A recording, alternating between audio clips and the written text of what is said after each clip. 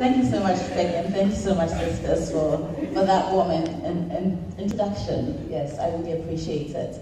Um, because I also work in communications, and because sometimes and increasingly I find myself personally struggling with the jargon that we use a lot in the feminist and activist world, I try to simplify things to myself. And so, in the earlier um, conversation, I really appreciated what Auntie said about if we think of colonization as, you know, a moment of fracture, right?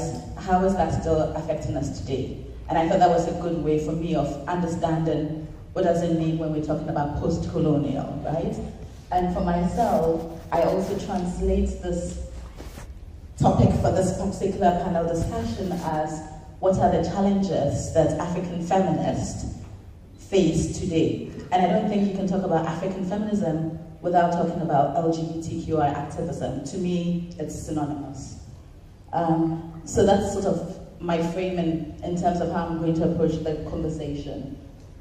And I felt like a huge challenge for African feminists, for LGBTQI activists today is erasure. Um, in the previous session, somebody said, you know, one of the myths that exist on the continent that is predominant in my own country, Ghana, as homosexuality is an African. Even though we have expressions like, you know, Kofi Besia, you know, which hint at gender not being rigidly defined, right? People still today like to pretend that they're just men, they're just women, you know, our sexuality is fixed as in boxes, you're a straight woman today, you're a straight woman forever until you die. You can never change how you are. You just have to be one thing. And for me, erasure is a huge problem, right? Um, two friends of mine, Valerie Bah and Felogene Anumo, wrote um, an article recently which was published on Open Democracy 50-50, if some of you want to read the full pieces. And this quote resonated with me, and I felt it was relevant to this panel. Um, you can read it for yourself, but since I'm here, let me read it for you as well. One of the functions of patriarchy is to erase women and gender non-conforming people from historical records. In light of this, creating and amplifying alternative archives, archives becomes a radical act of resistance. This is something that I really believe, um, and this is something that I do in my work as a blogger, as a writer, um, as a content producer. Because I think actually in this world, telling our stories is radical. Telling our stories of how we live, of how we love, is radical. It points to the fact that we exist and that we have always existed. And when I think of what are the challenges facing us, um, I think of primarily a big problem we have now is the rise and rise of religious fundamentalisms. Um, Ghana is regarded as one of the most religious countries in the world. I think it's largely a fundamentalist country. Christian fundamentalism is a huge problem. Um, the church is in cahoots with the state. We're supposed to be a secular country, but the church holds so much power that really we are not a secular country. Um, this is a, an image done by an artist called Prince Odro, which is, which is actually part of an exhibition that's going on in Ghana at the moment. And the man in the middle right now refers to himself as Angel Obinim. Obinim is his name. He used to be a bishop. And I say a bishop in quotes because with some of these religious leaders, we don't really know how they came to their position. It's like, you know, it's not like appointed by a particular body, it's somehow a title that they get. And this is a man who has been accused of all sorts of things, of rape, of molestation. There are videos of him in his church stamping on the bellies of pregnant women, you know. Um, but these people have a lot of power. They are the ones who try and control what people do, they're the ones who try and say that homosexuality is wrong. Um, and they're powerful, you know? And I feel like a huge problem for us is how religious fundamentalism is in cahoots with patriarchy, is in cahoots with the social system that says men are superior to women. And for me, one of the things that actually is hopeful is looking at how artists, right, through their art, through their work, are, in a sense, taking back that space and showing the hypocrisy in the system, because I think that's a really powerful thing that art and creativity can do. Um, the organization I work for, the Association for Women's Rights and Development, recently with our partners, um, the Observatory of the Universality of Rights, has been doing a lot of work and research around how increasingly our human rights are at risk. And what are they at risk from? They are at risk from an alliance of far-right actors, which include religious civil society organizations, which include um, particular states, particular countries, right? And this alliance is working at the level of um, at the international spaces and various UN spaces to push back on the idea that human rights are universal, right? So they're training delegates to be able to work in UN spaces to prevent um, particular states from signing up to universal resolutions. They are coming up with their own ideas around human, human rights what human rights is, they are co-opting the language of activism, right? And using it to push their own very conservative views, right?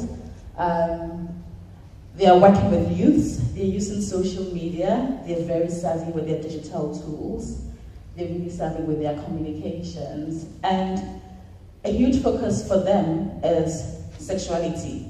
This is where their concern is. This is really what gets them going. Um, yes, yeah, so if, if, if folks are interested, you know, I would encourage you to look at this report. Called Rights at Risk. as published by, by the Association for Human Rights and, and Development. And so the question I ask myself is, if this is the situation we're dealing with, what do we need to do? How do we resist? How do we get free? And for me, the very fact that we exist, the very fact that we continue to gather, the very fact that we talk about how can we build solidarity across our various movements, across our various locations as an act of resistance, right? There's a future we're looking to, but then we also need to recognize how, in a sense, the fact that we still survive and that we still are and we're still creating is radical and is part of our resistance. So for me, it's a continuous journey. And for me, creating content and documentation and telling our own stories is really key to that. And this is part of why I do the work that I do around adventures. So Adventures from the Bedrooms of African Women is a blog that I started with my friend Malaika in January 2009. And it's a space where African women from various parts of the continent and the diaspora, whatever their sexuality is, however they self-identify as a woman, are encouraged to share their own stories around sex and sexuality. And most of these stories are told from personal points of view, because as far as I'm concerned, if you are telling your own story, nobody can claim you don't exist, nobody can claim it's not true, because it's your story. Um, and later on, I'm in a panel where I'm speaking a bit more about adventures, so I don't want to go into too much detail at this point in time, but I wanted to just point out a conversation that we're currently having with um, a collective called Hola Africa, um, where we're encouraging people to think of what our future Africa sex will be like, what would be our ideal where future African sex is concerned, right? We did a poll and the question was, in 2030, our future African sex will be sexual liberation and freedom for all. How many people think that's what will happen? This is what we hope.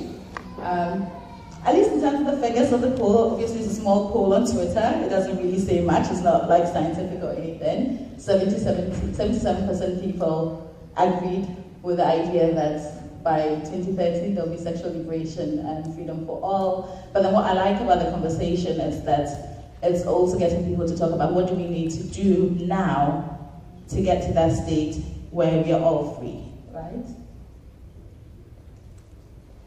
And I wanted to shout out Hola Africa and their Please Her Safe Sex and Pleasure Manual because for me, again, it's an example of our documentation and again, telling our stories. How can we say homosexuality does not exist. There's only one type of sexuality. When people produce manuals, when people are sharing tips with each other around sexuality, when people are in a space where we have we do not have access to comprehensive sex education, where we do not have access to health, because people cannot be honest with their gynecologists, because people cannot speak to their doctors, because people are being stigmatized. You know, for me, producing a manual way of giving people sexual health lessons and tips is radical. It's an act of resistance, and it's important, and it's documentation that again says we're here. And so for me, what needs to change is actually the world. you know, um, it's, it's the world that tries to say, this is the norm, and everything else that's not in the straight box, you know, is wrong. Um, but part of what I feel generally is I feel hopeful, I feel optimistic because of the conversations I've been part of um, since 2009. A lot in online spaces, but also in offline spaces. Um, it's the conversations I have in feminist activist spaces, like the African Feminist Forum, where we'll always have a session where we're talking about sexuality. Um, it's, it's in my own life, you know, and in the life of the communities I'm part of. And so I asked them, just two activist friends, to share some of their hopes where our sexual rights is concerned. And I just want to read out what um, Kagure Mugo, who's one of the curators of Hola Africa, said. She said, my hope is to see people being able to verbalize what it is they want, what it is they are, and what it is they understand about their sex and sexual identity no matter if you're queer kinky or married and missionary.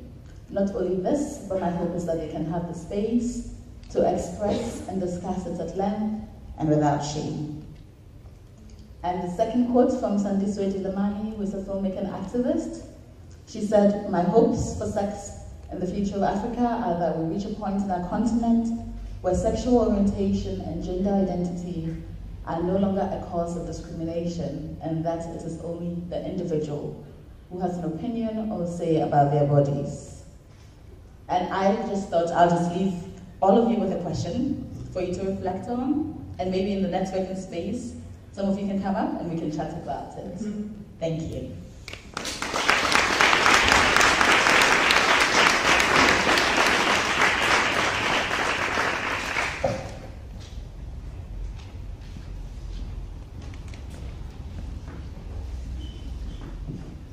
Yeah, thank you very much, Nana.